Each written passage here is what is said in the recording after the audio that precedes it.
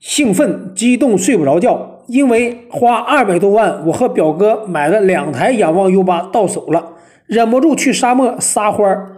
我开过路虎揽胜，开过奔驰大 G，我自认为没少开车子，但是这个仰望 U 八的牛云辇皮技术太牛了，在沙漠里开的非常自如，就像在城市开一样。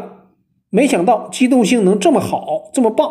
车子虽然很大。但是开起来很灵活，急打方向盘，车身的跟随性也很好，侧倾很小，难怪敢单枪匹马挑战阿拉善秘鲁秘秘鲁突风，确实有这个实力。